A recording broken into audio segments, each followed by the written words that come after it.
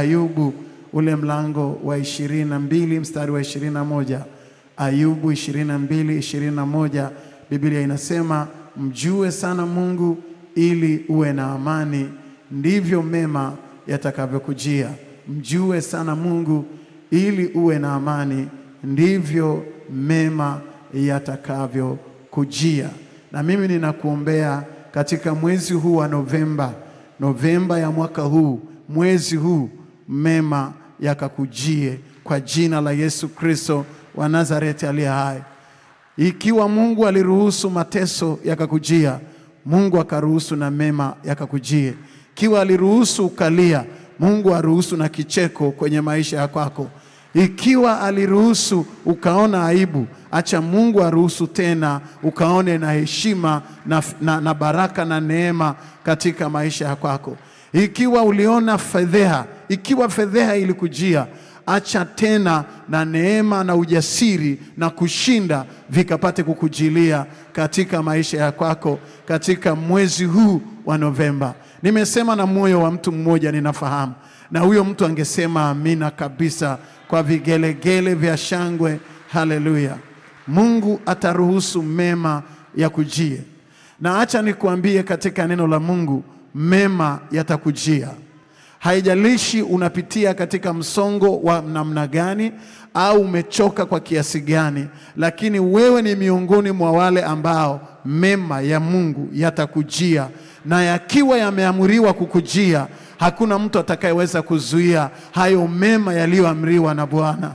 Mema yaliyoamriwa na Mungu hayawezi kuzuiliwa na mwanadamu hata kama huyo mtu akafikiri kwamba anaweza kuyazuia, anaweza kufikiri hivyo, lakini wema wa Bwana na mema yaliyokusudiwa katika maisha yako hayupo wa kuyazuia. Na ni maombi yangu hayo mema katika mwezi wa Novemba yakakujilie katika jina la Yesu Kristo wa Nazareti aliye hai.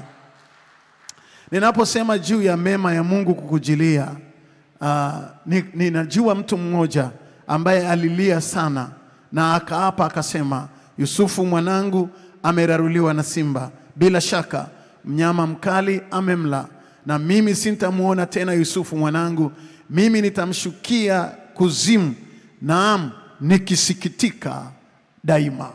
Huyo ni Yakobo baba yake Yusufu, alipoletewa vazi lililochovywa na damu ya mbuzi, akaambiwa, baba, tambua kama huyu ni mwanao au la.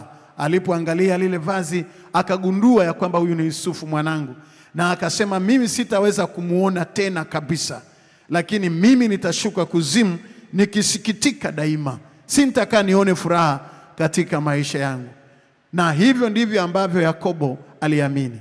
Lakini siku moja Biblia inasema Yakobo akiwa ana njaa, kwanza nchi ina njaa, na akiwa amekata tamaa akiwa amewatuma watoto wake wakubwa akina Ruben na wengine waende huko Egypt kutafuta chakula, na mtoto wake wa mwisho Benjamin naye aliungana na ndugu zake mara hii kwa sababu ya njaa, akiwa na stresi ya njaa, akiwa amekata tamaa.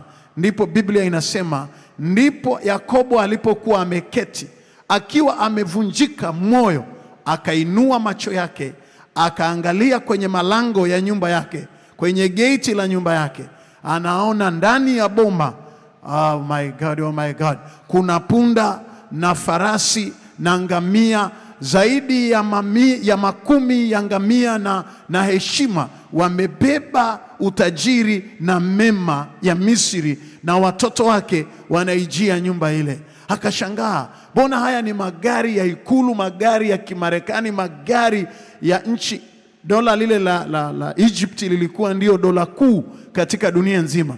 Anasema inawezekanaje magari ya Kimisri yananijia mimi? Na hayo magari ya Kimisri yalikuwa yamebeba mema ya Misri, yakaja kwenye nyumba yake, si tu chakula peke yake, lakini na mema. Na moja ya mema ambayo yalikuwa yamebebwa kwenye yale magari na, ile, na, na ule ugeni ilikuwa ni habari njema inayoondoa habari mbaya. Ndipo akamwambia Yakobo baba yao, Yusufu mwanao yungali hai. Oh my God, oh my God, oh my God! Yusufu mwanao yungali hai, naye ni mtawala katika nchi yote ya Misri.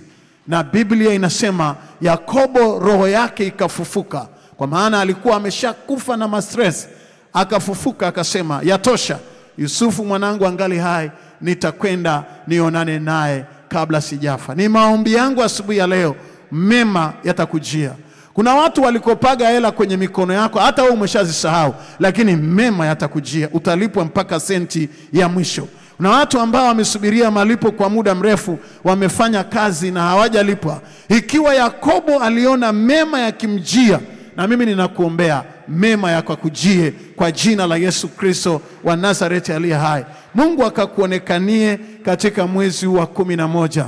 Ndipo Yakobo akaondoka akaonana na Yusufu mwanaye, akabatilisha yale maneno yaliyokuwa amejitamkia ya kwamba sintamwona mwanangu tena mpaka nitakapokufa. Na mimi ninasimama kwenye mwezi huu wa kumi na moja, hata kama umejitamkia negativity, umeshajitamkia mabaya na ukajifungia riziki zako, ukasema haiwezekani tena, kwa mamlaka niliyopewa na Yesu Kristo mwenyewe na kwa nguvu ya neno la Mungu, ninafungua hiyo milango yako na kufungulia milango ya mema na yakatokee katika maisha ya kwako.